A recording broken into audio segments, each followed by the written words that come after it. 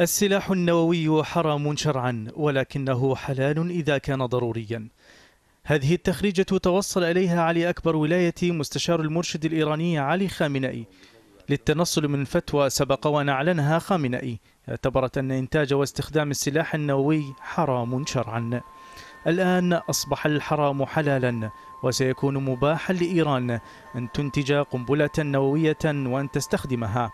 هذا التعديل لا يفترض أن يكون مفاجئا فإيران أعلنت رسميا أنها استأنفت تخصيب اليورانيوم إلى درجة 20% وذلك باستخدام أجهزة متطورة تملك الآلاف منها سلفا وأنشأت مواقع جديدة تحت الأرض في مجمع نطنز وربما في أماكن أخرى ما تزال غير معلومة للمراقبين الدوليين.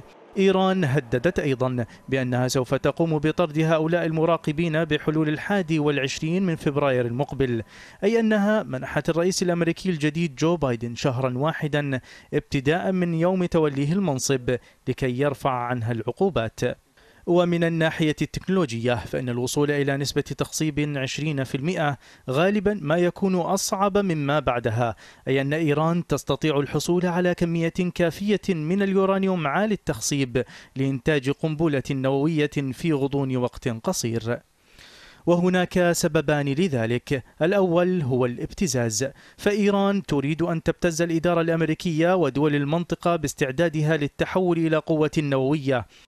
والثاني هو أنها لا تملك وسائل دفاعية كافية تكفل بقاء نظامها إذا ما اندلعت الحرب. فباستثناء الصواريخ فإيران تكاد لا تملك شيئا آخر يستحق اعتباره قوة. ليس من المرجح أن توجه الولايات المتحدة ولا إسرائيل ضربة لإيران لكبح مشروعها النووي. فهذا تهديد ظل يتكرر على مدى أكثر من ثلاثين عاما ليثبت أنه تهديد فارغ.